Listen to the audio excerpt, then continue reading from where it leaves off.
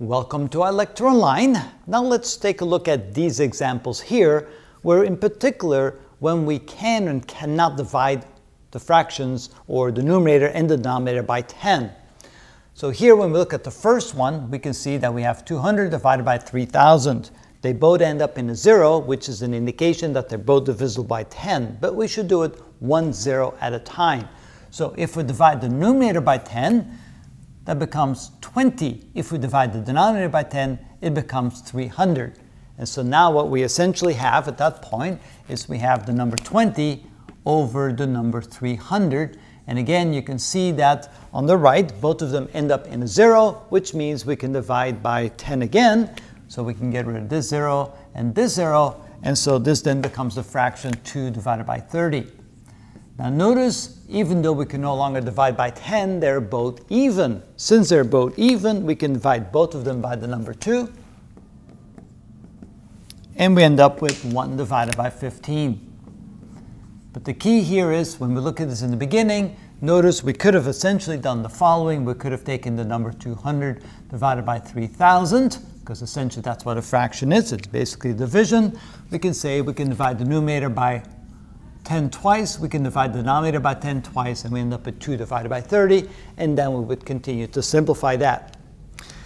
Now take a look at the second fraction. Again, they both end up in a 0, so we can divide both the numerator and the denominator by 10. And so now we end up with 109 divided by 200. You might be tempted to cross this 0 out and this 0 out, but you cannot do that. You need to start from the back, so you cannot arbitrarily pick a 0 there and pick a 0 there and cancel that out. So essentially, if we rewrite this, you have 109 divided by 200. And now since they both do not end up in a zero, again, it's the last digit that's important. You cannot divide both the numerator and the denominator by zero. It turns out that 109 is a prime number, so you cannot even go any further than this. If you take a look at here, again, we can apply what we used before. We can divide by 10, and then there's still a zero at the end. We can divide by 10 again, and so here, this ends up being 2 divided by 900. And since they're both even, you can then divide both by the number 2. And so this becomes 1 divided by 450, or 1 over 450.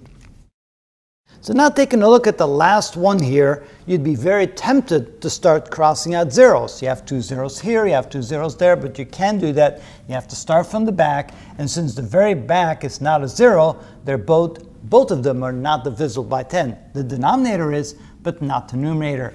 And 2001 looks like it's a prime number. That's as, that's, uh, as reduced as you can get it. Oh, wait a minute, not true. It's not a prime number. How do I know it's not a prime number? Because 2 and 1 add up to 3. That means it's divisible by 3. We can actually divide both of them by 3. So let's try that. So divide by 3 and divide by 3, like this. Of course, the denominator is easy. 3,000 divided by 3, well, that's equal to 1,000. But what about the numerator? Well, the numerator.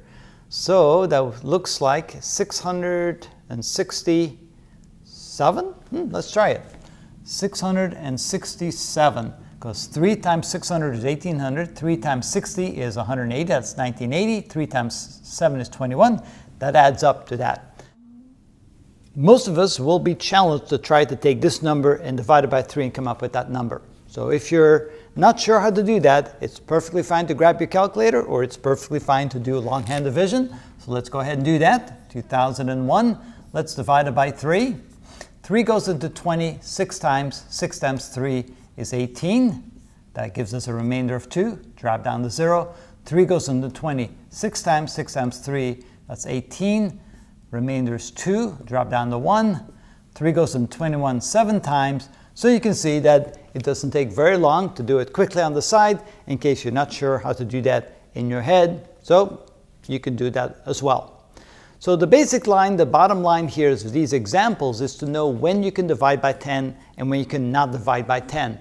Notice that you need to start from the back and move forward one set of zeros at a time. So here you can see that's divisible by, by 10, there it's divisible by 10 again, and here you can no longer divide by 10. Notice here you can only do it once.